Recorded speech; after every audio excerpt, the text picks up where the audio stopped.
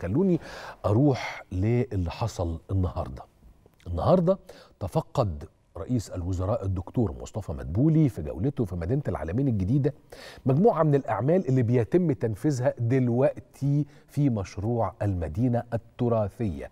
المدينة التراثية دي يا جماعة هي تقريبا 260 فدان. طيب لا مش دي اللي إحنا أيوه اللي فيها دكتور مصطفى مش الأبراج هي قدام الأبراج الناحية الثانية.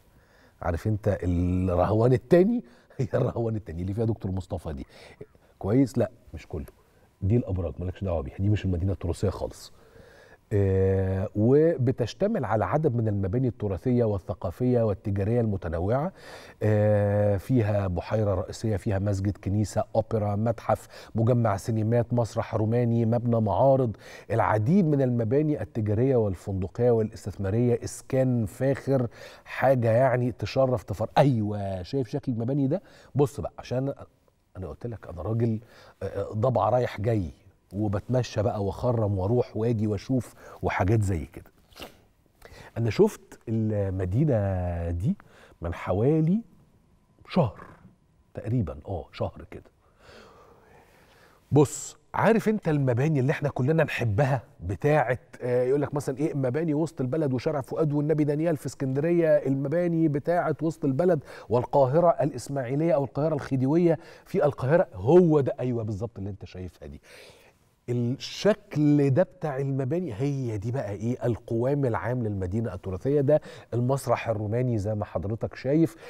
المدينة التراثية دي حدوتة يعني أنا لما كنت بشوفها آه ف أنا أنا أنا واحد من الناس أحب الطرز المعمارية الكلاسيكية بتاعة مطلع القرن العشرين يعني جدا جدا يعني. فعندي هوس بيها. وكنت دايما أقعد أقول يا سلام لو مصر كلها تبقى كده. خلونا ناخد معانا على تليفون الدكتور عبد الخالق إبراهيم مساعد وزير الإسكان. أهلا بيك يا دكتور. أهلا بيك يا أستاذ يوسف. إزاي الصحة؟ كله تمام؟ كله تمام الحمد لله. إيه الشغل الحلو ده؟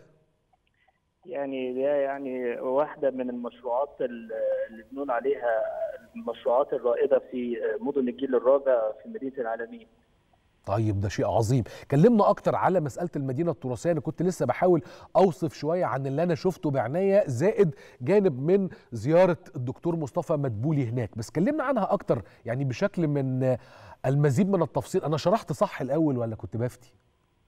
لا لا يا فندم. حضرتك يعني المدينة التراثية هي واحدة من مكونات المرحلة الأولى لمدينة العالمين أيوه وده اللي يخلينا نقول إن إن مدينة العالمين الجديدة هي هي مش الأبراج صح. يعني مش الأبراج فقط يعني صح. لأن طبعا إحنا أول ما بنقول العالمين بيجي في الأذهان على طول منطقة الأبراج ولكن هي منطقة الأبراج دي منطقة بسيطة صغيرة بتمثل مساحة بسيطة من المدينة.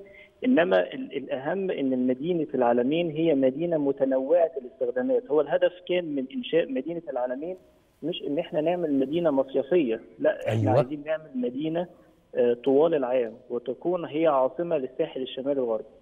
فمثلها زي مثل مدينة الإسكندرية. يعني مدينة الاسكندريه مدينة متكاملة مدينة سكنية خدمية متنوعة الأنشطة نفس الكلام مدينة العالمين فمدينة العالمين بجانب الجزء السياحي المتمثل في الجزء المطل على ساحل البحر إلا إن إحنا في عندنا أنشطة أخرى خدمية وأنشطة تراثية وأنشطة صناعية يعني عايز أقول لحضرتك إن إن ما يقرب من 25% من مسطح المسطح المخصص لمدينة العالمين أنشطة صناعية. عظيم وده بيكون في جنوب المدينة.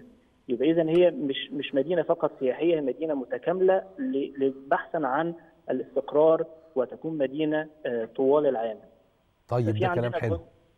ففي عندنا جزء صناعي في عندنا جزء خدمي وده مهم جدا اللي هو متمثل في الجامعات والمستشفيات اللي هي بتخدم نطاق إقليم إسكندرية والساحل الشمالي الغربي ويضاف لكده المدينة التراثية لأن دايما إحنا جزء من عمرنا هو التراث وبالتالي إحنا يعني توجيهات فخامه الرئيس إن إحنا لازم يكون في عندنا في كل مدينة ما يعكس الهوية المصرية وما يعكس الجزء التراثي. وعشان كده تم تخصيص مساحة للمدينة التراثية زي ما حضرتك تفضلت حوالي 260 فدان.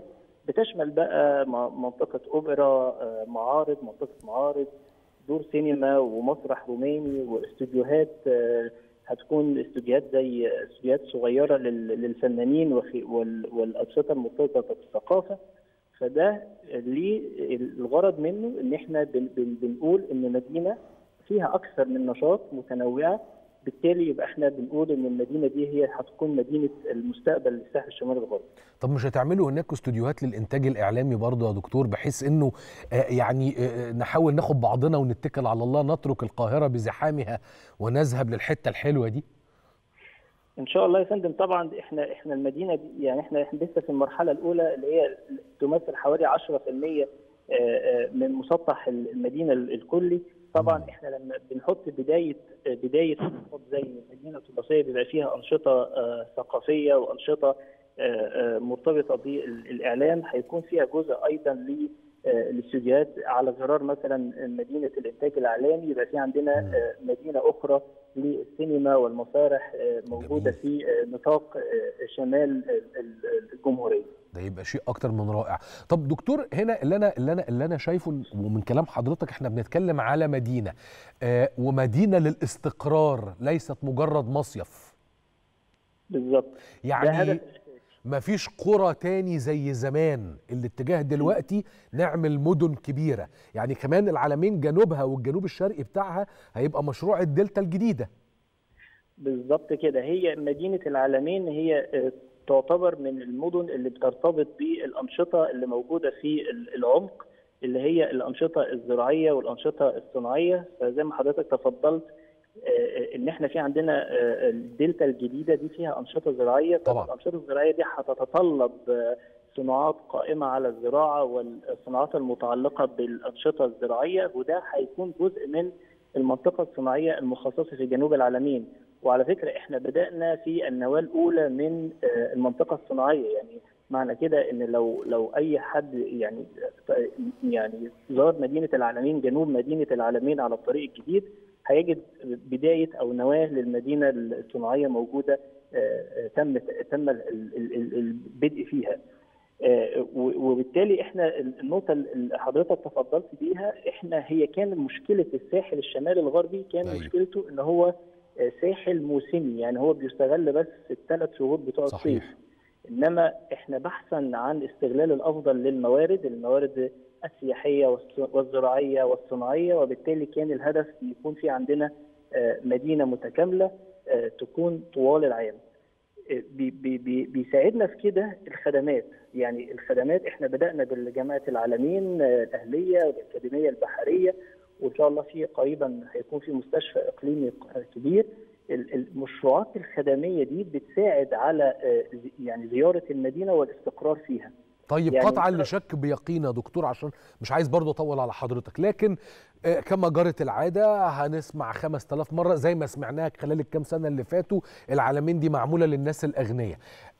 لما أسمع إنه إحنا بنتكلم على مدينة اذا هي تستوعب كافة القطاعات والشرائح الاجتماعية صح كده مظبوط يا فندم إحنا إحنا من ضمن مبادئ تخطيط مدينة العلمين ومش بس مدينة العلمين جميع مدن الجيل الرابع هي حلو. المدينة لسكن كل المصريين طب الله. خلينا نضرب مثال على إزاي الكلام ده بيتحقق في مدينة العلمين مدينة العلمين مش هي السكن اللي موجود في الأبراج فقط إحنا في أيوة. عندنا اسكان ال downtown وده اسكان فوق متوسط. يليه اسكان سكن مصر ده الاسكان المتوسط. يليه الاسكان الاجتماعي المتميز وده اللي موجود. وكل ده موجود وتم يعني بناء المرحلة الأولى منه. يعني في عندنا حلو. الاسكان المتميز اوريدي في عندنا حوالي يعني تم إنشاء 80 عمارة. تم آه، آه، تخصيص آه، 45 عمارة لاهالينا نفس الكلام لسكن مصر تم الانتهاء من حوالي آه، 4096 وحدة سكنية. وبالتالي إحنا هنا بنقول إن هي مدينة لكل الشرائح الاجتماعية مدينة لسكن كل المصريين. بإذن الله. أنا بشكرك جدا جدا جدا يا دكتور. كل الشكر لدكتور عبد الخالق إبراهيم مساعد وزير الإسكان. ألف شكر. طيب.